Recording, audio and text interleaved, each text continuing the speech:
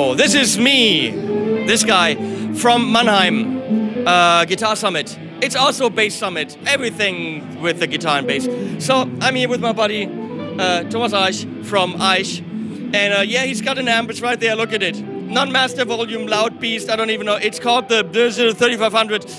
We're gonna cover that when he brings one by in my studio, and not before that. Um, but if you've ever asked yourself how to conveniently get rid of all the gas in your Coke, because I like my Coke flat personally. How do you like your Coke? Me too. Yeah, because it's too fizzly and it goes in your nose. Yeah. I don't like that. So he developed a very overdone, expensive technique to get rid of the gas in your Coke bottle. First of all, you have to drink some, there's nothing you can do about that. You have to get it down to this level. Then you have to buy a Music Man bass. Or could it be another bass? It could be another bass. That's not the reason. Okay, so another bass. Then you have to buy an Eich amp. It only works with an Eich amp, of course, right? Right. Right, right. I mean, it could work with another amp, but for this, we're saying it's it's got to be an Eich amp Yes, it must be. because good. And then instead of a cab, you buy a Bass Board. Robin, thank you. So what this does is it vibrates your bottle. So right now, Robin, come really close and show the liquid being unperturbed.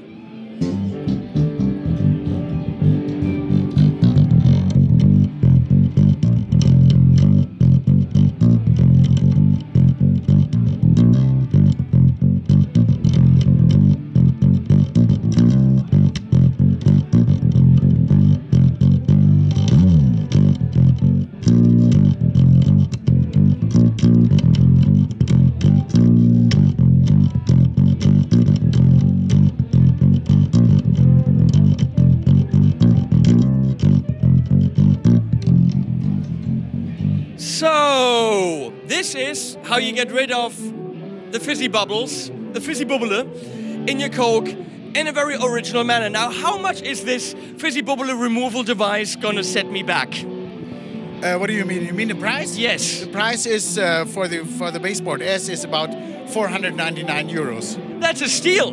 Because imagine how much Coke you drink in a year Yeah. and how much it goes in your nose and how annoying that is. This is an ingenious way to do it.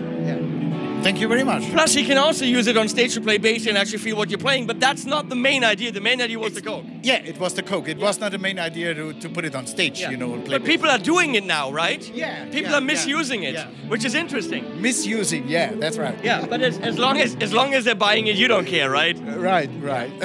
So, uh, Eich, baseboard, cool. I'm gonna stay on that and get my balls jiggled. Oh yeah, go. Oh yeah. Oh.